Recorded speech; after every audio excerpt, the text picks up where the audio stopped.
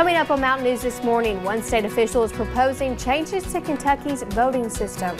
And we take you on a tour of a new facility in Laurel County that will hopefully ease the problem of jail overcrowding in the county. Plus, flu season is hitting the Commonwealth hard this year, and in Somerset, numbers are prompting policy changes at one hospital. Dedicated to Eastern and Southern Kentucky, this is WYMT Mountain News This Morning.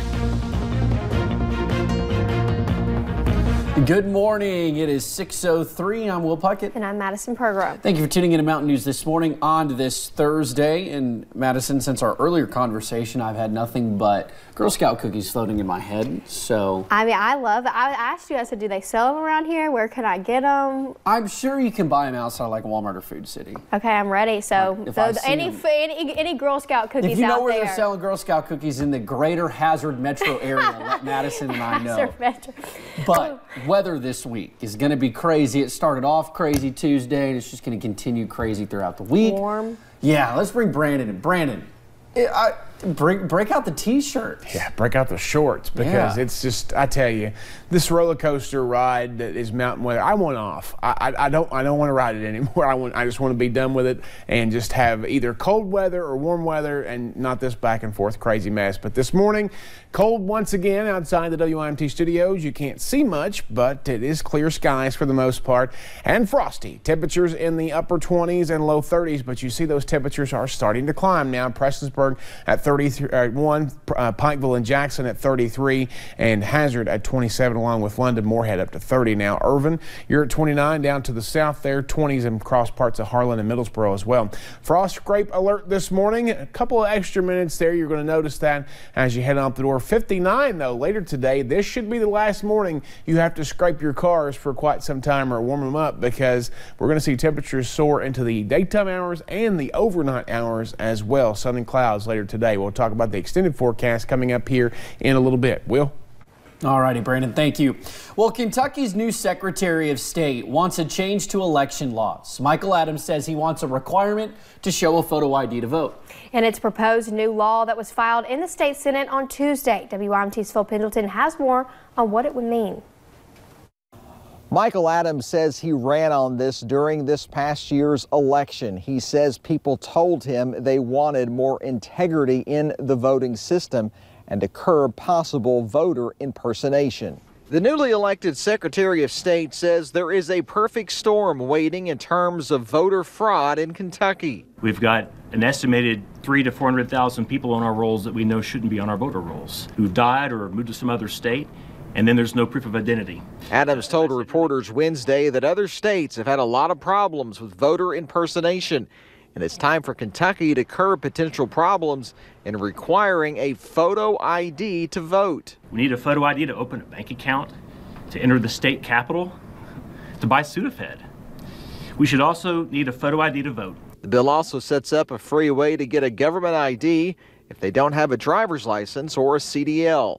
It's scandalous that we have second class citizens in our state who can't perform basic life functions because they don't have a photo ID due to its cost. And Adams says if for whatever reason people still have trouble getting a photo ID to vote, he says they can simply show an affidavit to show that they have an impediment to getting that photo ID and still be cleared to vote. In Frankfort, Phil Pendleton, now back to you.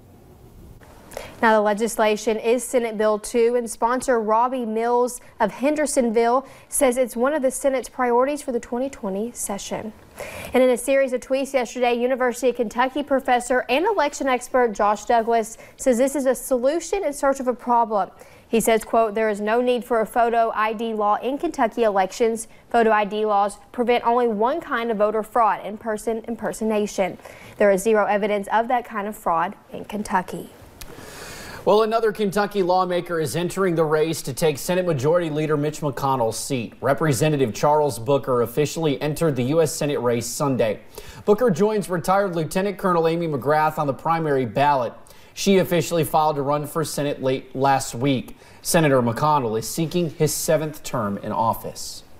And the Pike County Fiscal Courtroom was packed with community members Tuesday night as a Second Amendment sanctuary resolution was signed. The resolution, one of several that has been approved across the region, is a show of support from the county, telling its citizens the local government supports the Second Amendment. Judge Executive Ray Jones heads a court full of Democrats, but says the issue is not about party lines. Most of us here grew up with guns.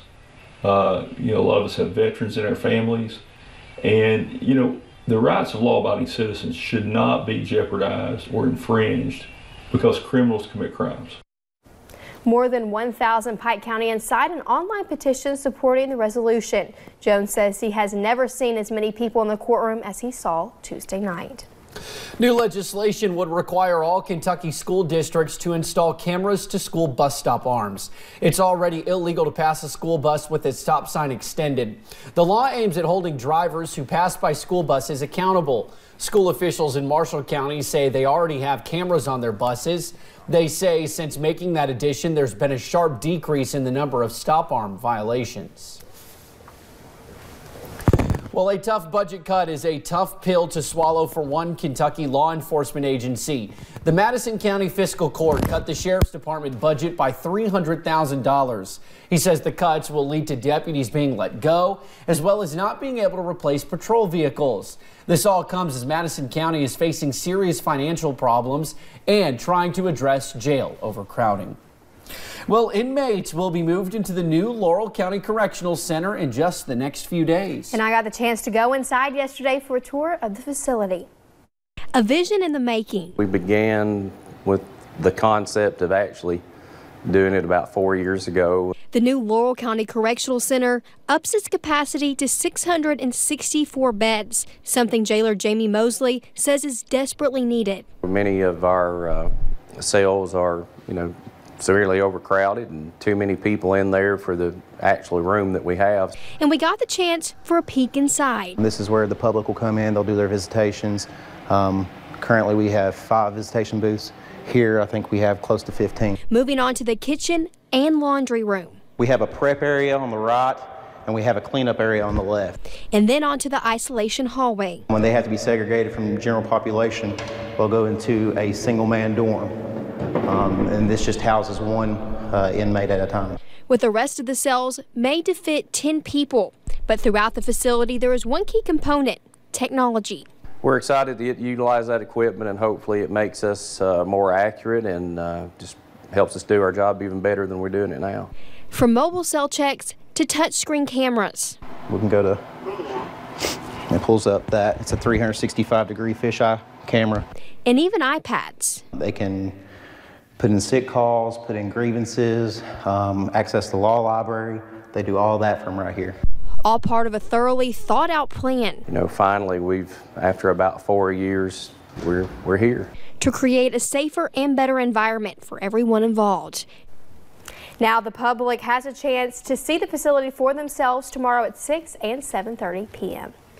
Well, the growing amount of flu cases have caused a hospital in southern Kentucky to restrict visitors. The Lake Cumberland Regional Hospital has restricted visitation to immediate family members only. You are not allowed to visit if you have any flu-like symptoms like a fever or a cough. No visitors under the age of 12 will be allowed. If you have to visit a patient, you need to report any flu symptoms to hospital staff. The guidelines are effective immediately. And a resort on Lake Cumberland is making progress after a fire destroyed part of it. Conley Bottom Resort posted these pictures on Facebook. You may remember a fire damaged the store cafe and part of the dock last May. It happened right before Memorial Day weekend, and the resort plans to have all repairs complete by this summer.